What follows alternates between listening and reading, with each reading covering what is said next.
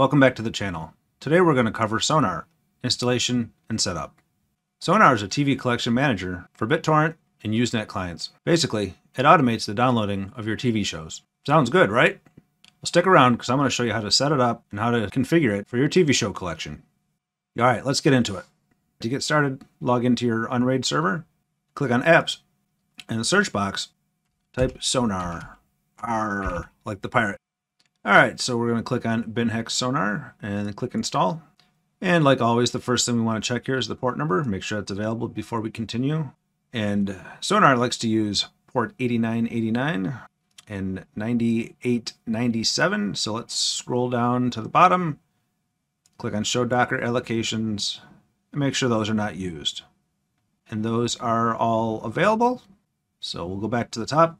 Host path 2 is the location for your downloads. So go ahead and click onto that. And mine are under MNT, user, and then downloads. I'll click back there to get select that. And under host path 3, this is the location for the actual TV shows themselves. So that will be for me under media.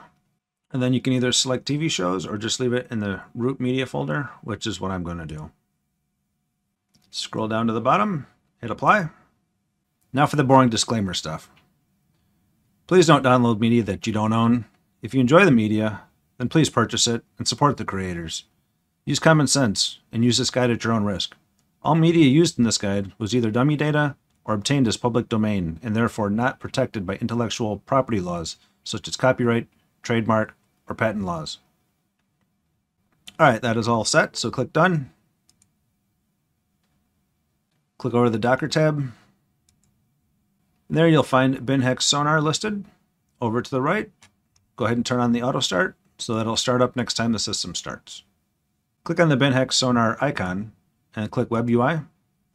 First thing that's going to pop up is that it requires authentication. The authentication method that I like is the basic browser pop-up. So I'll select that. Authentication is required. Username, I'm just going to call this demo. And I'll pick another, let's see, super secret password, and then confirm the password, and then click save. And at its main page here, it says that there's no series found, there's no TV shows listed. We'll get to that. If you've seen my Radarr video, it's very similar to that, but we'll do a quick run through of what the options are. Under series, this is where your TV shows will either get added, or you can import libraries, or otherwise look at your media. We'll come back to that in a moment. And the calendar will show you all the past and upcoming episodes that you have monitored in your system. Activity will show you the queued files that you have, the history of files that have been processed through the queue, and the block list is for files that have failed and then you've marked as blocked. Under Wanted, it'll show you the TV shows that you have marked for monitoring that are either missing or that the cutoff is unmet. Next, we have Settings. This is where we'll set up Sonarr to handle the TV shows and process them for you. Under Media Management, in my previous Plex video, we talked about Sonarr and Radarr having the ability to rename the TV shows and the movies, and this is where that's done. So for rename episodes, go ahead and select that option. Replace illegal characters, you want to leave that checked. Allows you to replace illegal characters that are not allowed on your operating system. Under colon replacement, there's several different options to replace colons. The default is dash space dash, which is fine, but you can just delete it. You can have it replaced with just a dash or a space and a dash or whatever suits your needs there. I'm going to leave it on smart replace. The standard episode format.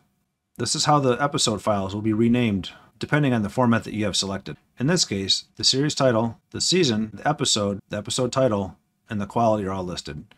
Down below, it shows you what that will actually look like. So for a single episode, it'll have the series title, S01, which is short for season 1, E01, which is short for episode 1, the episode title, and then the quality information follows. I'm not concerned with the quality information, so I'm going to remove that. And as you can tell, it updates down below to show you what the file naming will look like. There's lots of other options available. If you click on the question mark to the right, it'll show you all the different options that are available. The item on the left side of these columns are the token that's used, and the right side shows you what it'll look like. To add these, let's say you'd like the IMDb ID number. You just click on that, and it adds it down to the selection part at the bottom. And if you hit close, now when you come back here, it'll show you the format that you have selected and the resulting change here. Once again, I don't need the IMDb ID, so I'll remove that. I'm happy with the way that looks. I'll move on. The daily episode format is for shows that come out daily. And for that, once again, I don't want the quality information. I will remove that, but the rest looks fine to me. Anime episode format, once again, same information applies. Remove that. The season folder format. Here you can specify how you want each season folder to be displayed. If you click on the question mark to the side, it shows you all the different options. The default's fine with me, so I'm just going to close this and leave that alone. Under file management, you've got unmonitored deleted episodes. If you delete a show from within Sonarr, it's beneficial to have it stop monitoring because it will download all that information again. When you're done with your selections, hit Save Changes. Under Profiles, these are the different profiles that are available within Sonarr.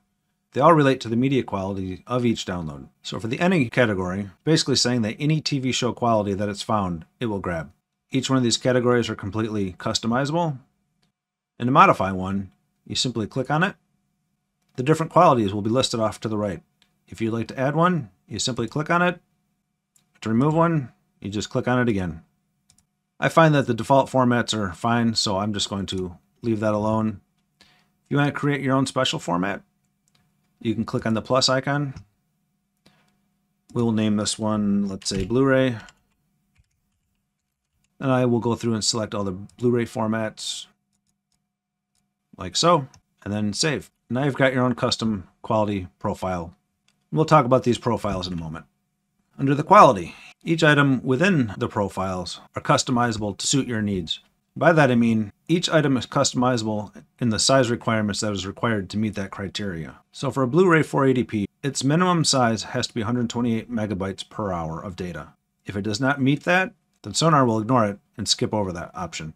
You can also set the maximum size, and then you simply click and drag and these numbers here, the blue one is for minimum, the green is the preferred size, and then the maximum is the yellowish orange color. And once again, that is the amount of data per hour. So for the minimum here, 120 megabytes per hour, you'll see that reflected here. So a half hour show would be 60 megabytes in size, minimum. The maximum size would be, for a half hour show, 4.4 gigabytes. These are totally customizable and you can change them to however you see fit. I think the defaults are fine. So I'm just going to reset this and move on. Moving on to indexers. Indexers are the different sites that interact with Sonarr to fetch and manage the media, to find the media that you're looking for. To add an indexer, simply click on the plus, find the one that you would like. In this case, let's say you have an account with IPTorrents. You click on that, you fill out the information, and once it's filled out with the proper information, you test it, and this gear icon will come back with a green check mark. Then you simply hit save, and that index will be added to the list. In another video, we'll set up Prowlarr, and that'll be the system that we use for all the indexers. Moving on to download clients. In a past video, I've used Deluge VPN as the download client, so I'll be adding that now. Click on the plus. Under torrents, you'll find Deluge. The name is fine. You definitely want it enabled.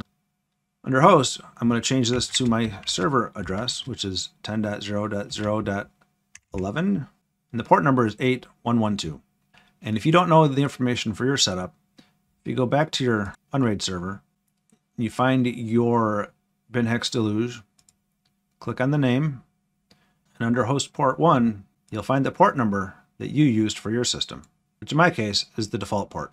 Under password, this is the password that you used when you set up Deluge. So enter that information into there. Within Deluge, we'd set up labels.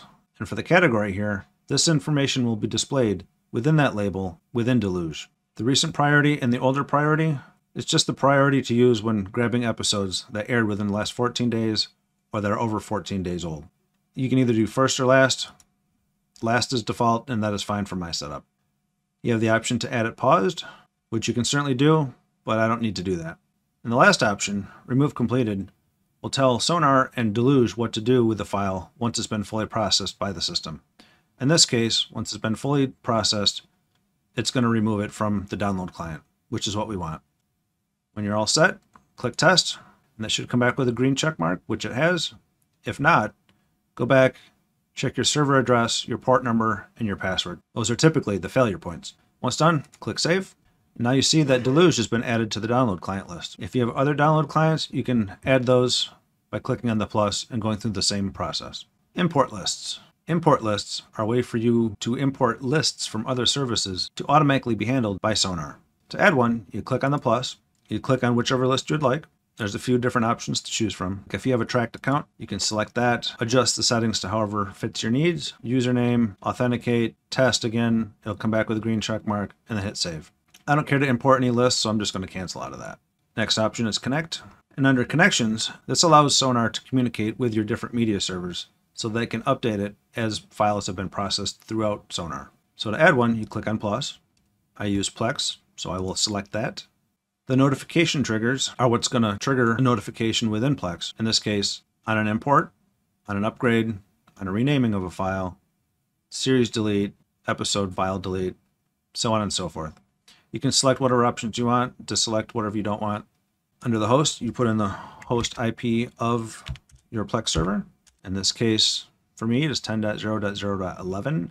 Put in the port number. The default for Plex is 32400. If yours is different, go ahead and change that. And then under Authenticate with Plex TV, click on that. It's going to look at the email account. You hit sign in. It's going to prompt you to log into Sonarr with that information that we had set up earlier. In my case, it was demo and then my super secret password. Once it's authenticated, it'll have a check mark, then hit save. And now you'll see that the Plex media server is added as a connection. Under metadata, you can set up metadata collections for the different media servers that you have within your system. The two big ones are probably going to be Kodi and Plex for most people. To set one up, click on the one you want, in this case Plex, hit the check mark for enable, click save. Metadata sources. The option there is the TVDB, which is totally fine for our needs, so I'll just continue on. And under general, in the beginning when you first signed in, Sonarr had you create some security in the forms of a username and a password. This is where that information is set. If for some reason you need to change your username or your password, you simply change those in these locations here. And then don't forget to save it. Under UI, or user interface, this is for setting up Sonarr for the look and feel that you like for your systems. For the calendar, you can set it to be on a Sunday-based or a Monday-based week. It doesn't really matter for me, because I don't really use that feature. The date format and the time format are probably the ones that most people would be interested in changing. At the very bottom, the UI language if English is not your native language, you can select whichever one you'd like. Once done, make sure you hit Save Changes, and Sonarr should be all set up. The only thing is there's no media in there, so let's add some. So if we go up to Series, we've got the option to add a new show or import a library. If you've already got a bunch of TV shows, then let's import that library first. To do that, click on Import Existing Series, click Start Import, and Sonarr would like to know where that information is stored at. When we set it up, we told Sonarr that the media would be under Media folder. That would be a TV show. So we'll click Add. Sonarr now processes and looks for the TV shows that we have within our library and tries to match them up. In this case, it looks like it's matched everything fine. In the Monitor option tell Sonarr what you want it to monitor on each individual TV show. You can have it monitor all episodes, future episodes only, only the missing episodes, existing ones, and so on and so forth. And since this is all dummy information, I have no reason for Sonarr to monitor any of these TV shows. So I'm going to select none. Most times though, you would leave it on all episodes. The quality profile. This is where you tell Sonarr what kind of quality you want it to focus on downloading for that individual TV show or episode. And when you select that, it shows you the different options that are available. This Blu-ray option here is the one that we created earlier. Let's say for Criminal Minds, you wanted it to get high def 1080p quality files. So you'd select that, Smallville, yeah, it's an okay show. Let's just say 720 is fine. And Beverly Hillbillies? Well, since that's a fairly old show, I doubt it's going to be available in anything HD, so we'll just leave it on any quality.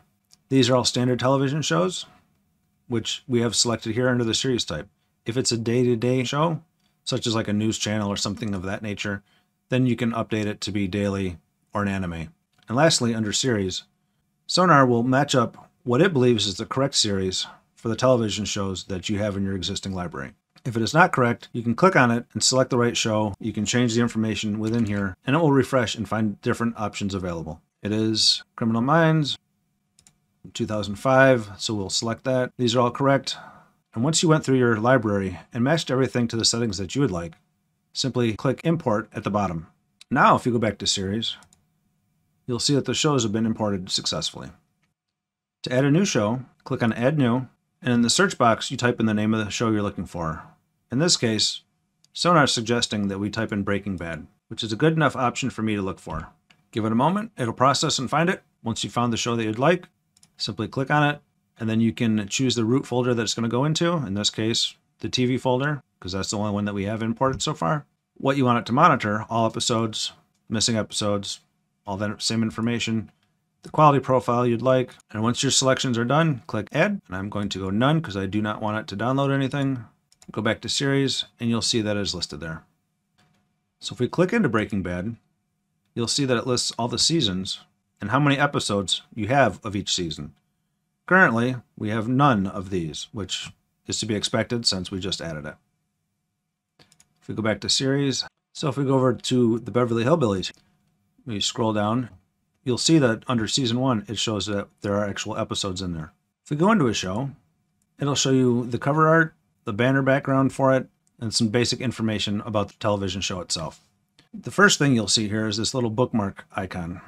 That is the monitoring status. Right now, since it's not solid, that is marking it as not monitored. Click on that, it'll change it to monitored, which means it'll look for new episodes. Hit it again, and it marks it as unmonitored. It'll show you the television show name, how long the episodes are, what category it's in, and the years that it ran. If it's a still running show, it'll say dash present. Below you have some information about the show on your server. In this case, the location of it, the size that you have, the quality profile, whether it's monitored or unmonitored, it shows you if it's ongoing or if it's ended, and the network that it's from. Below, you have a brief description of the television show itself. As you can see, this show is not being monitored. You can monitor individual seasons, though. To do that, you have to have this option enabled, and then you can select which seasons you would like. If you turn that off, then it disables it for all of them. Under series monitoring, you can change them all at once. But I do not want that on, so I will turn this off. Not sure why I'm doing it that way.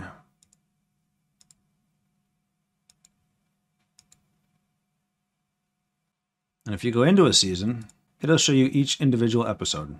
Shows you the episode number, the title, the date it was released, and then you can manually select whether it's monitored or unmonitored here. All the way to the right, you've got the option to do an automatic search for that episode or a manual search. By clicking on the episode name, it shows you information about that episode. These are some of the episodes that I got as their public domain. If you click on that, it'll show you more information about the actual media file, where it's located, its size, what language it's in, and the quality of that file. One last thing to show you here.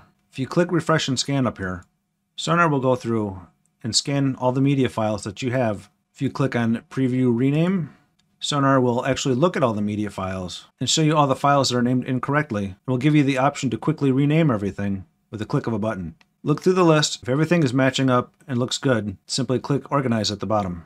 If we do another refresh and scan, and then go back into the rename preview, it'll show you that everything is all done and it's all renamed properly. Much easier than doing it all by hand. And there you go. Sonarr is all set up and ready to go. So what do you think of Sonarr? Were you able to get all your media imported? Let me know in the comments below. But before you go, make sure to hit the subscribe button so you don't miss any future videos. And I'll see you in the next one.